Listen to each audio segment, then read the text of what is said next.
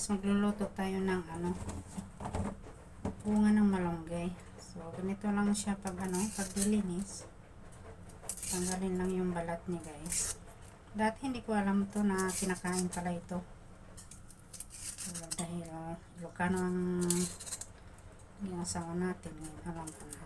Pero tinatanong ko pa sa asawa ko yung ano, paano to lutuin. So, ganyan lang siya. Alisin lang yung balat. Ganyan. So, ganun din sa mga natirang ano pa bunga. So, ganun lang. Tapos, putulin. Yan. Ganyan. Tanggalin mo lang yung green-green na ano.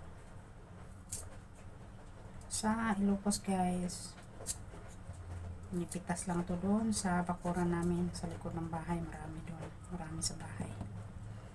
Pero dito sa Hong Kong, napakamahal. Itong kapiranggot na to, yan, ilang piraso lang to, 18 dollars na yan. Kaya mahal. Nung umuwi ako, nagdala ako. Kaso siyempre, hindi naman siya magtatagal. Kaya yung tamang-tama lang na maluto natin yung dinala natin. So, ganyan, linisin lang yung mga remaining na, ano, ganyan lang yung paglinis niya. Yan guys, marami na tayong nabalatan. Sekreto natin guys, sabihin ko sa inyo, huwag kayong bumili sa worldwide ng ganitong, ano, uh, dahon ng malunggay kasi napakamahal sa worldwide. Doon kayo bumili sa Indian shop, mura lang. Kaya ito, 18 dollar lang kasi doon ako, doon ako to binili. Sa worldwide nako napakamahal nito. Ilang piraso lang magkano na? Hindi ako bumibili doon. Yan lagyan natin to ng ano kamote lang at saka ano pagmit. May ukra ako dyan pwede naman din lagyan at saka ano yung talong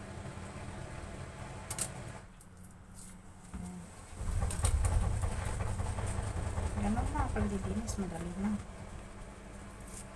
Tapos, lagyan lang siya ng sibuyas, kamatis, at saka luya. Yun. Bagoong. Wag walang bagoong, pwede na patis. Inaubusan ako ng bagoong guys, kaya ang ilalagay ko ay patis. Yan lang, ganyan lang siya. Oh. So, ilang piraso na lang malapit na matapos. So, ayan guys, mag-umpisa na tayo magluto. I So, ayan guys, ang ating bagnet. Fry natin siya ng konti para ano, mantika. Saka, ano na rin kasi naka lagay ko sa fridge kaya kailangan natin ng ano, tutuhin. So, ito na guys, na-fry na natin guys. Actually, ito guys, Lagyan mo lang ito ng sibuyas kamatis guys. Ang sarap na ito pang ulam. Pero sasaw na ito siya sa ating bunga ng malunggay. So ito guys, hindi mo na siya kailangan i-isa o ano. Pwede mo na siyang pagsama-samahin. Pero ikikisa ko lang natin yan. Tip-tip lang na ano. Tip lang na luya yan.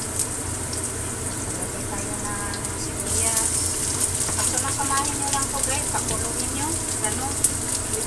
Ganun. So, may mantika naman tayo galing sa bagay natin siya. Sabi na natin yung ating iniwalang na kamatis slice.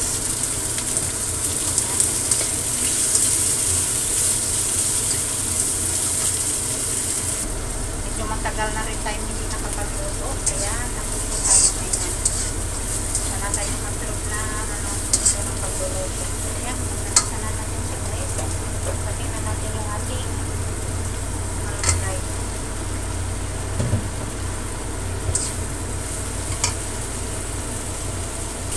Lagay tayo ng patis guys kasi wala tayong pangong. Lagay na rin natin yung ating kamote na nagayat na. Nakita sa inyo. Lagay na siguro kung paano gayatin.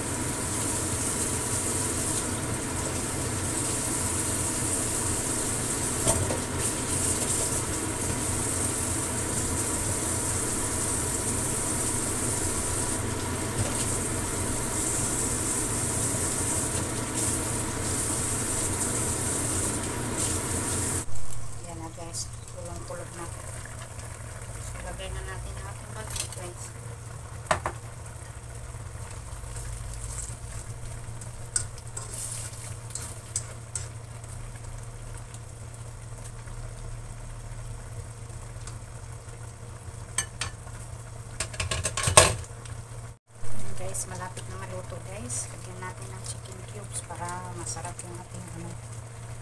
Tapos maglagay rin tayo ng konting ano, talong at saka okra para dumami kasi medyo konti lang yung ating ano, ating malunggay.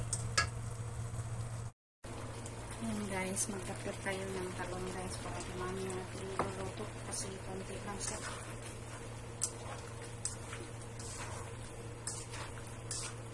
Ay, Masarap na yung kanyang ano. Wait lang natin muna siya para ano, bago natin ilagay yung okra. Ilagay tayo ng okra. Ayan na guys, kulong-kulong na. Ihabol na natin yung ating okra. Kunti lang. Sabi lang naman ang kakain. Ilang araw na naman natin itong kakainin. Yan. Kung gusto niyo nang malapot yung sabaw, i-mash niyo yung ano kamansi. Yung iba, naglalagay ng kalabasa. Pero mas maganda kasi yung kamote, manamis-namis yung kanyang sabaw. Ayan, kalambutin lang natin. Para kakain na tayo guys. Yan habang pinapakulo natin guys. Ready ko na yung aking kanin para kumain na tayo. Ayan na guys, luto na siya. Ayan, Lambot na yung ating okra. Saka yung ating talong. Ayan na na guys. Kain na tayo.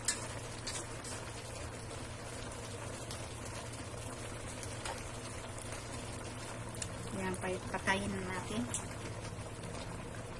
Ready na yung ating kanin. Ayan, kakain na tayo. Sasandot lang ako ng ano. Ulangin natin.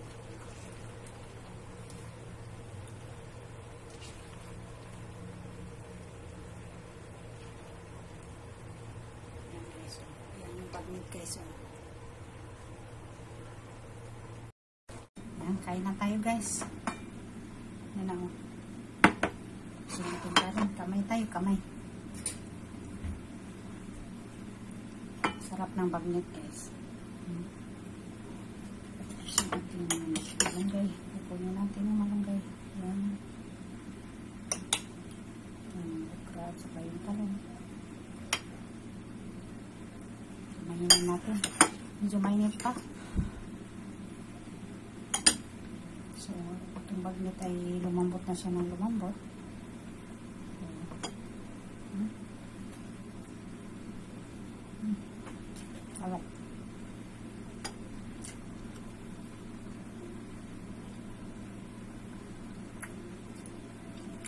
Kahit mainit guys, sige, sige lang.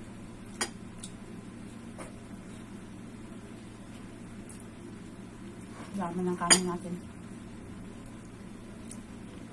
Yun guys, thank you for watching. Sana na gustuhan nyo yung recipes ko ngayon.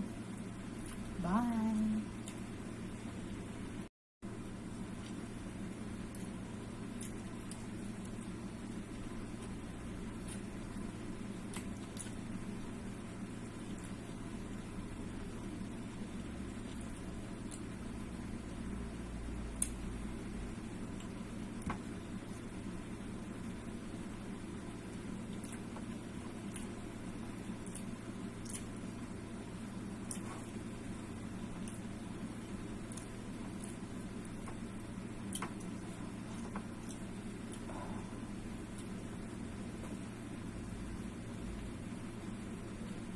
Sarap.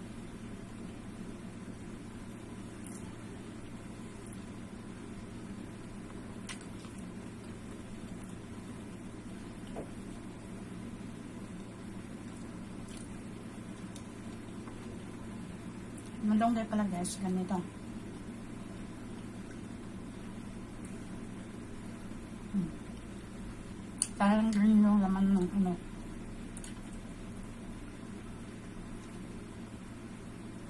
Kasi ito, hindi na ito nakakain.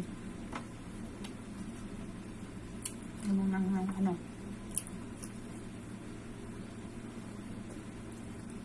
Sipsipin mo lang ano niya. At kumbaga, 嗯我想嗯。